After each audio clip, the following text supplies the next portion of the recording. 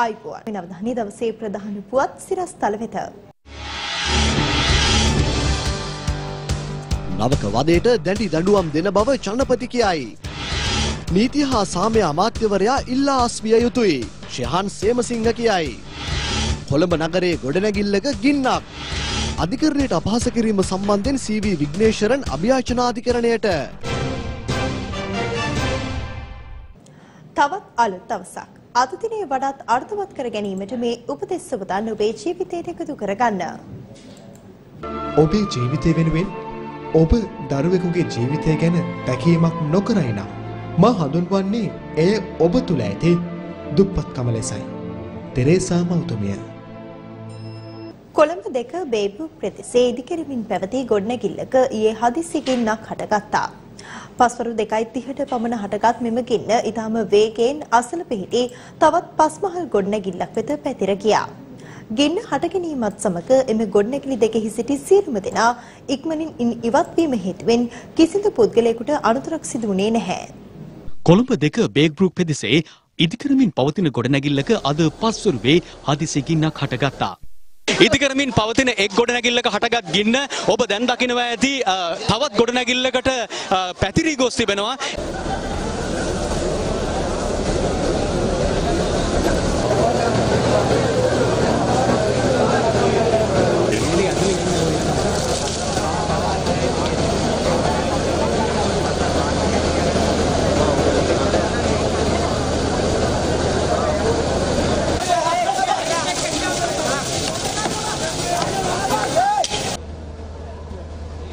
ඉදිකරමින් පැවති මෙම ගොඩනැගිල්ලේ හටගත් ගින්න ඉතාම ක්ෂණයකින් ඒ අසල පිහිටි තවත් පස්මහල් ගොඩනැගිල්ලක් වෙත පැතිර ගියා.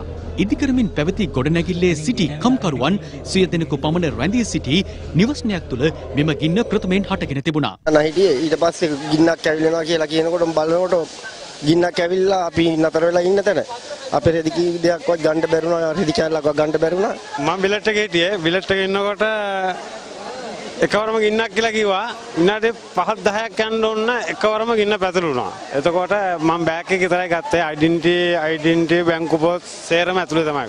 මං වගේ සියලුම දේම ගිනි ගත්තා. කී දෙනෙක් විතර ඉන්නවද මේ විතර? බිලට් එකේ සාමාන්‍යයෙන් 100කට වැඩි ප්‍රමාණයක් වගේ ඉන්නවා. නෑ වැඩ ඇඳගෙන ඉන්න සූට් එක විතරයි ඉතුරු වෙලා තියෙන දැන් ඉතුරු ඔක්කොම පිච්චිලා තියෙන්නේ. ආයේ ගමන ඩෙන්ටිටි කිසිම දෙයක් නැති වෙන්නේ පිච්චිලා තියෙන්නේ ඔක්කොම.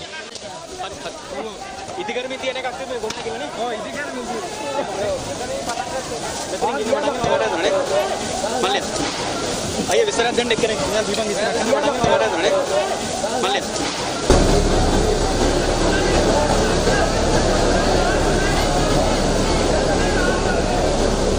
ක්ෂණිකව ක්‍රියාත්මක වූ ගිනිනවන අංශ සහ අවට ව්‍යාපාරික ස්ථානයෙහි සේවකයින් මෙන්ම විශාල පිරිසක් මෙම ස්ථානයට එක් වී ගින්න පාලනය කිරීම සඳහා අවශ්‍ය පියවර ගත්තා.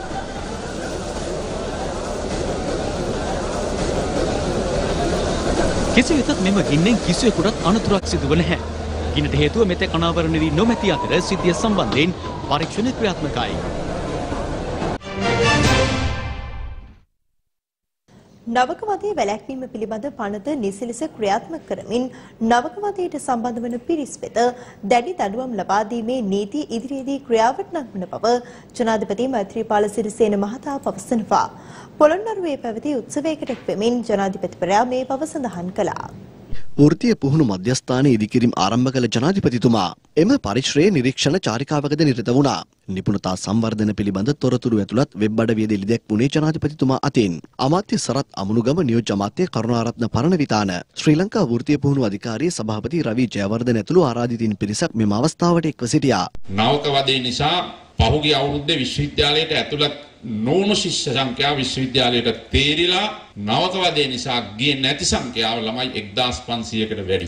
පහුගිය අවුරුදු 25ක් ගත්තොත් නවක වදේ නිසා විශ්වවිද්‍යාලයට ගිය ළමයින්ගේ මරපු සංඛ්‍යාව 25කට වැඩි. අතපය කඩපු ගාන 100 දහස් ගානකට වැඩි. විශ්වවිද්‍යාලයේ තුල රට බාර ගන්න යන මේ රත්තරන් දරු මුව පැටව් හා පැටව් වගේ සුන්දර දරු මොනතරම් බලාපොරොත්තු ඇතුවද යන්නේ රට බාර ගන්න ඉන්න ඔවුන්ගේ අනාගතේ කවුද මේ විනාශ කරන්නේ මේ විනාශ කරන්නේ මේ දේශපාලන කණ්ඩායම ඒක තමයි ඇත්ත කතාව මේ විදිහට විශ්වවිද්‍යාලයේ දරුවෝ විනාශ කරන්න ඒ වැඩ පිළිවෙල අපි දෙන්නේ නැහැ. රටේ නීතියක් තියෙනවා. නවකවාදයේ සම්බන්ධය දැඩි දඬුවම් දෙන නීතිය අවාප්‍රාප්ත රිචඩ් පතිරණමේතුමා පාර්ලිමේන්තුවට ගෙනල්ලා සම්මත කෙරුවේ. මෙතෙක් කල් මේ නීතිය ක්‍රියාත්මක නොකර හිටියා. පොලිසිය වලින් ඒ ඒ නීතිය යටතේ ඒ පනත යටතේ නඩු නොදා හිටියා. නමුත් අපි කිව්වා ඒ පනත යටතේ නඩු දාන්න කියලා. අපන හිරේ යනවා.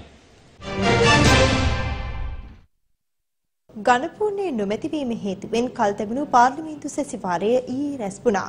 මේ හිදී බලපු අදහස්. අද සමාජය තුළ සමාජ සාධාරණත්වය පිළිබඳ ලොකු සැකසංකා තියෙනවා. ඒක නිසා තමයි මිනිස්සු පළාත් සභාවට රුපියල් ලක්ෂ හයමාරක් වේදම් කරලා පුටුවක් ගේනකොට ඒ ගැන කෝපයට පත් වෙනවා. පාර්ලිමේන්තුවේ කටයුතු ඝනපූර්ණේ නොමැතිව අඩාල වෙනකොට කේන්ති ගන්න. මේ රට සාධාරණ රටක් බවට සමාජය ඉස්සරහා ඔප්පු කරන්න ඒක වැදගත් පියවරක් මේ රාජ්‍ය විගණනය පිළිබඳ ඒ වගවීම accountability තහවුරු කරන ක්‍රියාවලියන් ශක්තිමත් කිරීම. අද අපි කරන්නේත් ඒ එක පියවරක්. මේ ඊයේ මේ පාර්ලිමේන්තුව විනාඩි 13කින් කල් තියන සිද්ධ වුණා. අතරම විගණකාධිපති දෙපාර්තමේන්තුවෙන් ඉල්ලා සිටිනවා මේ පාර්ලිමේන්තුව රැස්වෙන දවසකට යන වියදම කොච්චරද කියලා රටේ ජනතාවට විගණකාධිපති දෙපාර්තමේන්තුවෙන් කියන්නේ. මේකට පොලිස් නිලධාරීන් දහස් ගණනක් ගෙන්වනවා සභාව තියෙන දවස. විවිධ හේතු නිසා පාර්ලිමේන්තුවට කරන මුදල් නාස්තිය මහ විශාල බරක් වෙලා තියෙනවා. මොරගහකන්ද ජලාශය හතර වතාවක් විවෘත කිරීම පිළිබඳ විගණනයක් කළ යුතුයි. ඔබතුමාලාගේ ගම්පෙරළිය. මගේ දැනීම හැටියට බිලියන් 10ක් වෙන් කරලා තිබෙනවා ගම්පෙරළියේ ප්‍රචාරක වියදම් වල. අදත් පරිපූර්ණක ඇස්තමේන්තුවක් ඉදිරිපත් කරන නියෝජක කතානායකතුමනි. මොකටද? කුරුණෑගල දිස්ත්‍රික්කයේ ගම්පෙරළියේ සමාරම්භක උත්සවයට අදාළ වියදම් වෙනුවෙන් අතිරේක ප්‍රතිපාදන සැපයීම මිලියනයක්. හැබැයි මේවට කිසිම විගණනයක් නැහැ. මංගල සමරීර ඇමතුමා අපිට පැහැදිලිව ප්‍රකාශ කරලා තියෙනවා ගම්පෙරළියේ වැඩසටහනට 175ක දායකත්වයක් ලැබෙනවා පෞද්ගලික අංශයෙන් කියලා. කෝටි 12500ක් හිටපු මුදල් අමාත්‍ය රවි කරුණානායක මහතා විසින් ලංකා ඉතිහාසයේ කිසි දවසක නොමග යවපු නැති ආකාරයට මේ පාර්ලිමේන්තුව නොමග යැවීම පිළිබඳ අපි විශ්වාස භංගිකුත් බාර දීලා තියෙනවා. අවසන් කරන්න පිළිබඳ විගණකාධිපතිවරයා කිසිවක් වෙන් කිරීම පිළිබඳ කරලා නැහැ. ඒ පිළිබඳත් විගණනයක් කරන්න දේශපාලඥයන්ගේම වැරදි කතා කරලා වංචා දූෂණ කතා කරලා විතරක් මේ රටේ දූෂණය අවම කරන්නත් බෑ. ගරු නියෝජ්‍ය කතානායකතුමනි පස්වෙනිදා තිබිච්ච ජනබල ඒ කොළඹට ආපු සෙනගට කිරි පැකට් වගේක් දීලා තියෙනවා ඒවට ඉන්ජෙක්ෂන් එකකින් යම්කිසි විසද්‍රව්‍යයක් ඇතුළත් ඒක point of order එකක් නෙමෙයි. මාලිගාවත්දී තමයි මේ මුජිබුර් රහ්මාන් මන්ත්‍රීතුමාගේ ගෝලියෝ ටික තමයි මේ කිරි පැකට් ටික දීලා තියෙන්නේ ගරු මුජිබුර් රහ්මාන් මේ විදිය මන්ත්‍රීතුමා කතා කරන්නේ. අපි දේශපාලන කරලා දේශපාලන ඉතිහාසයක් තියෙන මිනිස්සු. එහෙනම් කවදාකවත් මේ කිරි පැකට් වලට ඉන්ජෙක්ෂන් ගහලා දෙන්නේ නැහැ. දෙන දේ ඉස්සරහට ඇවිල්ලා මූණට දෙනවා මිසක් කිරි පැකට් දීලා බඩ යන වැඩ ඒ වගේ වැඩ කරන්නේ නැහැ. ඒ වගේ වැඩ කරලා තමුන්නාසර පුරුදුයි. නීති හා සාමය අමාත්‍යවරයා ඉල්ලා අස්වේත බව පාර්ලිමේන්තු මන්ත්‍රී ශ්‍රීහන් සිම්සිංහ මහතා පවසනවා. ඒ කොළඹ පැවති මාධ්‍ය හමුවකට එක්වෙමින්.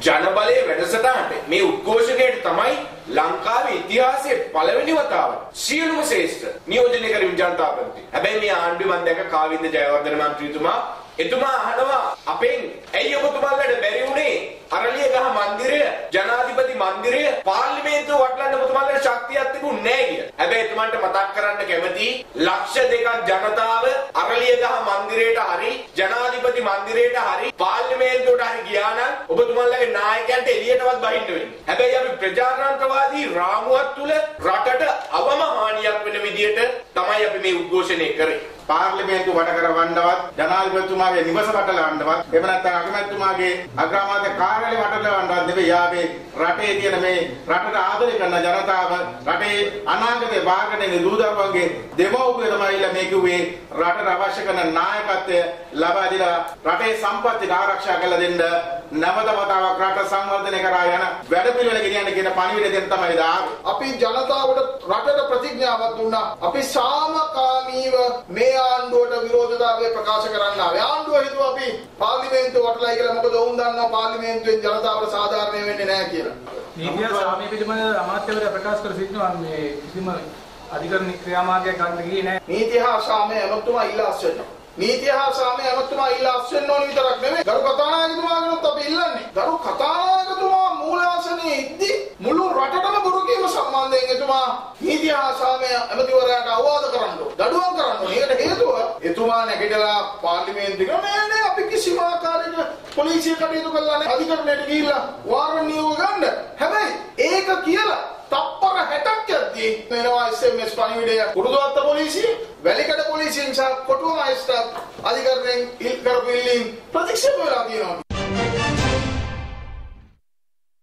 ගොවියන් සඳහා වැඩිම සහනයක් ලබා දුන් ආණ්ඩුව යහපාලන ආණ්ඩුව බව කෘෂිකර්ම මාත්‍ය මහින්ද අමරවීර මහතා පවසනවා.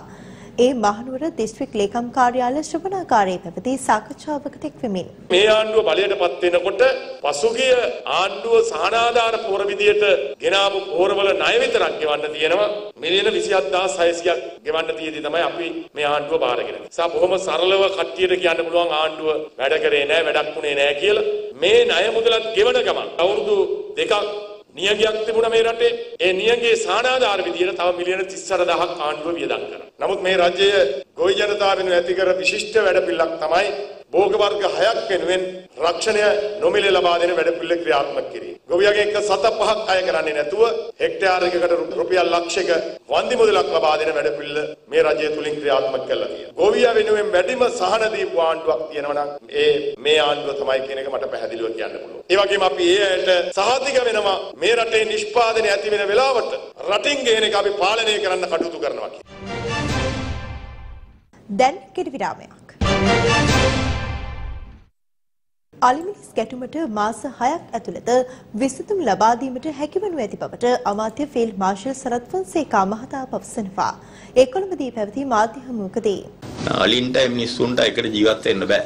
පරිසර වේදී කියා ගන්න නොයේ චරිත ඉන්නවා. ඒගොල්ලෝ මේ අලියාගේ සුන්දර පැත්ත විතරයි දකින්නේ. පෙරහැර යන අලියා, එහෙම නැත්නම් සත්තුවත් ඉන්න අලියා. නමුත් වනාලි ඒගොල්ලෝ ඉතා භයානකයි භයංකරයි. මේ අවුරුද්දට දැනට අලි 185ක් මැරලා තියෙනවා. මිනිස් ජීවිත 65ක් නැති වෙලා තියෙනවා. ජනතාවට යම්කි සහනයක් තව මාස 6ක් විතර ඇතුළත ලැබේවි. අපිට මේවා මේ ප්‍රශ්නය මාසෙන් දෙකකින් විසඳන්න බෑ. පොඩි ප්‍රකාශයක් කරන්න ඕනේ මේ පහුගිය දිනවල පුවත්පත්වල තිබෙන වාර්තා කීපයක්. මේවා කියවනකොට නම් මේ මේවා පුවත්පත්ද කැලෑපත්තරද කියලාත් මට විශාල ප්‍රශ්නයක් මතුවෙනවා. මේකේ කියනවා අක්කර 10000ක ඉඩම් ඥාතීන්ට බෙදලා දෙන්න යනවා කියලා වනජීවි ඇමති. එයා හිතනවත් දන්නේ නැහැ අලි අලි කියන්නේ මගේ ඥාතියෝ කියලා. මොකද අක්කර 10000 විෂය කතා වුණේ කොහේ හරි අර අලින්ට තෘණ භූමි හැදීම ගැන විතරයි. අලින් එක්ක මට ඥාතිකමක් තියෙන එක්සත් ජාතික පාක්ෂිකයෙක් හැටියට හේරෙන්න මට වෙන ඥාතිකමක් නැහැ.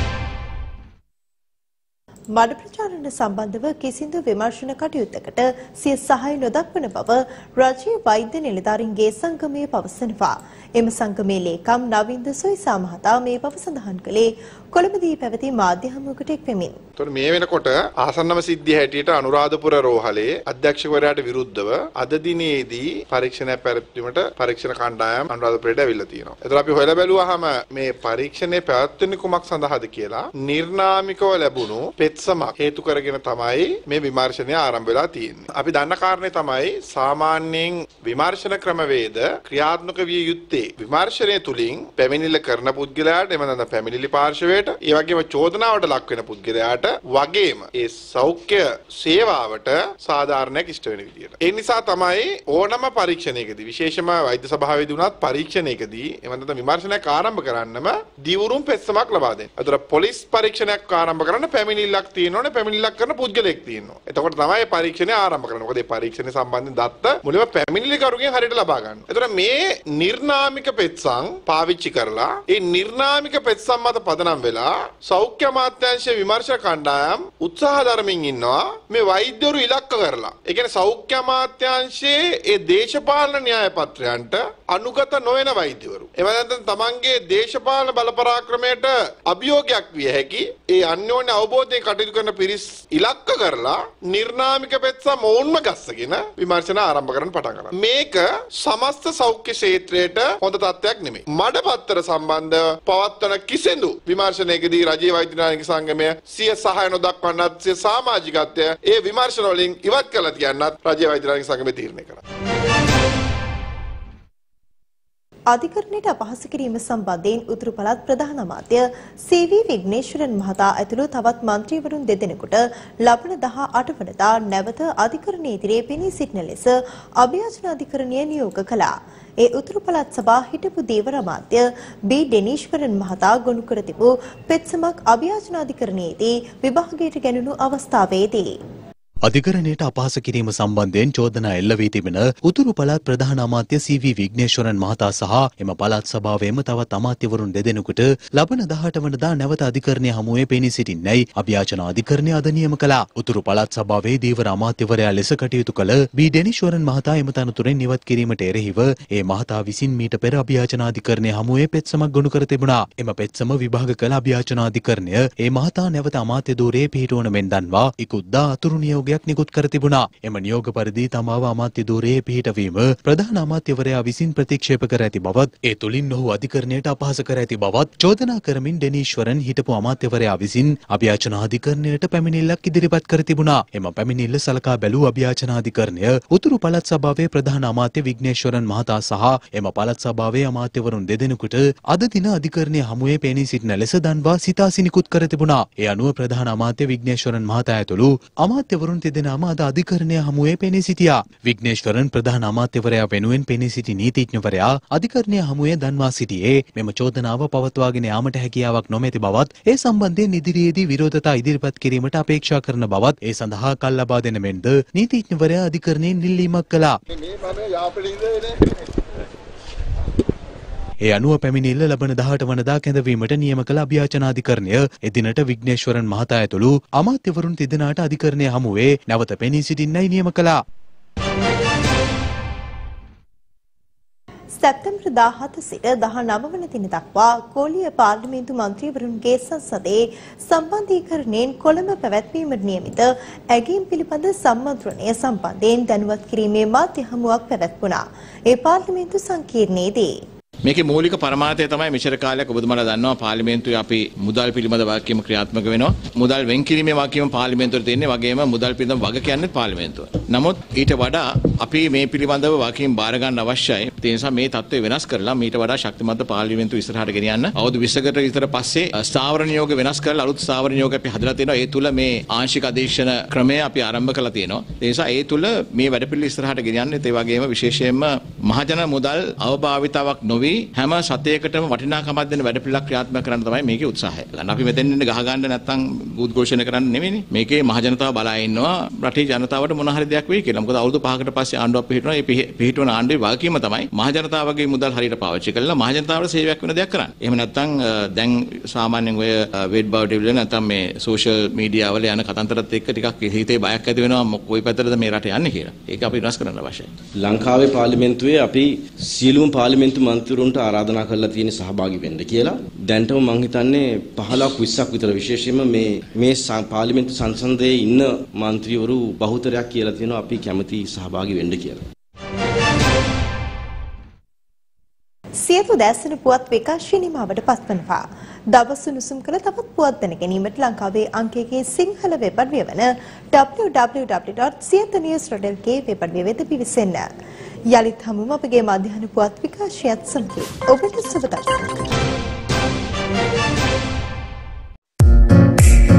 දිනපතා අලුත් වීඩියෝ සහ ප්‍රවෘත්ති නැරඹීමට ඉහත බටන එක ක්ලික් කර සියත TV සබස්ක්‍රයිබ් කරන්න. අලුත් වීඩියෝ ගැන මුලින්ම දැනගන්න මෙම සීනුව ක්ලික් කරන්න.